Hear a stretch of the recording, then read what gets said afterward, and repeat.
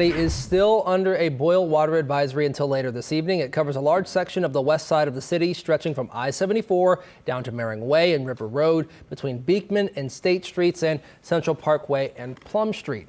A water main break is responsible for this advisory, and it includes the West End neighborhoods of Camp Washington, Lower Price Hill, North Fairmount, South Fairmount, Cumminsville, and Millvale. Now, the CDC says to use bottled water or boil your tap water for a full minute before drinking or preparing food. This is all out of an abundance of, caution until about 8 p.m. tonight. New on